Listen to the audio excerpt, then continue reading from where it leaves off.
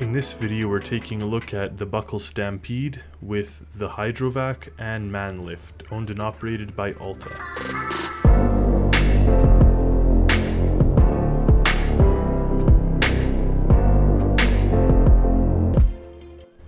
Here we are with the Alta owned and operated Buckel Stampede with the Hydrovac and Manlift bucket. It's powered by a 12 cylinder V8 engine and it has this back compartment with a 3000 liter tank that you could fill with whatever you want, meaning you could put diesel, you could put slurry, whatever you want to put, you could fill in there. There's some equipment, especially pumping and that type of thing on both sides, ropes, welding. Here you power the boom and accessories, and here you could put an electrical cable that connects to the whole vehicle. So you could actually plug in one of these cables here and have power to whatever you need. Now, the actual crane is a rat crane, which is the brand for industrial machinery and we have a little basket here we could jump into from there and then once we unlock this this actually moves up and down and all that stuff as well as out. So you can extend the bucket and move it in the different directions. Now you want to bring this down so you could actually get back into it. You can from ground level so like right there.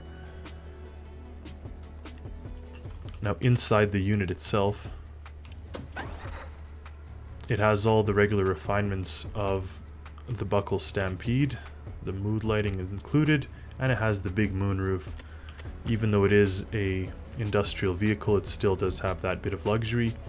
Now you have quad steer, which is the turning of all the tires.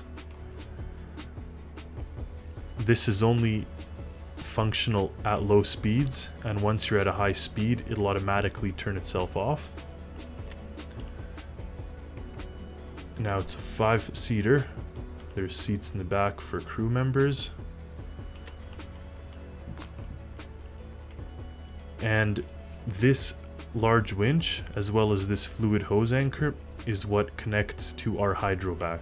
And hydrovac is just a system that you can pump in or out so you could see now we have zero contents, but we're going to take this thing out on the road and test out that hydrovac and bucket system. Here it is, spawned out here on the airbase.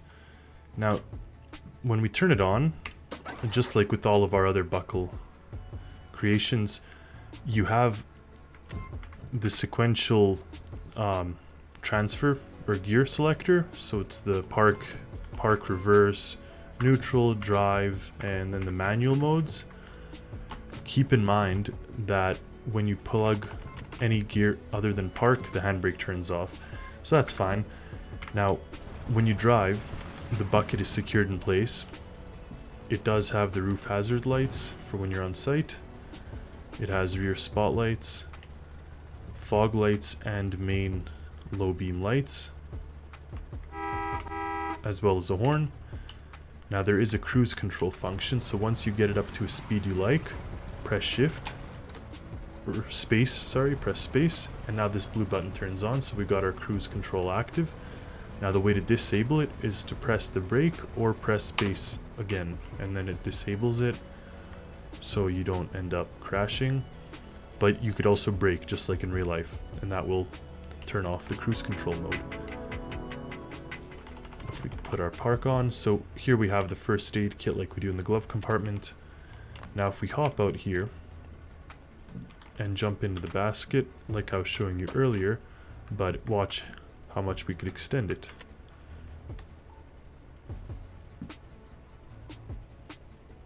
So it does go 20 meters, which is a good height for any type of uh, operation. You could reach fairly high spaces you can get on top of the roof of the warehouse, all that stuff. Super useful, and one thing that is worth mentioning, just as I come back here, this hydrovac system. I guess we could pump out our own diesel. Let's try that. So we take the hose, and we could plug it in here, but this way you won't have the winch. Or you could plug it in to the winch itself, and then you have a you could control the length of the winch. So that's especially good if you want to take this bucket up somewhere high. So you attach it here, and that's only just a placeholder for that hose. So then you could extend this to like, I guess this thing goes 150 meters. So you could extend it to 150, and then when you push your basket up and about, you can just take this connector and walk around and plug whatever it is you need to if there's some type of hose system that's far away. Now if we plug it into our here, we could actually pump in, meaning it'll suck the contents of our gas tank dry. So if we watch the gas tank, it's dropping like crazy. So we're sucking all the fuel out of the gas tank.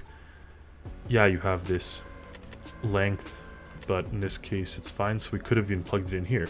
Now we could stop that, and we could return it. So that's the nice thing with this hydrovac system is it's very easy to operate and easy to pump liquids into and out of systems. So that's how that works. And now note that this bucket itself has a rope anchor and an electrical cable anchor. So you could plug any of those into this winch put them here just to keep them handy as you're operating this.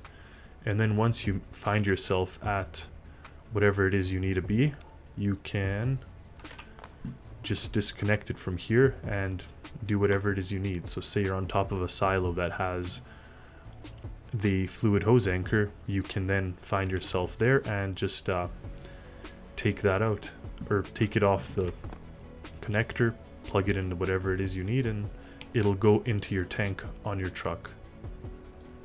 So that's a fairly useful system. You can, obviously, if you fall out of your bucket, you can make your way back to it kind of on this path with a little better dexterity. And otherwise, that seems to be it. So, hope you guys enjoyed the video. Hope you enjoy the creation and that's yeah that's all I could think of. But it, it has these two main features the winch and the bucket and the hydrovac system. So thank you for watching and make sure to follow and I will be releasing more content very soon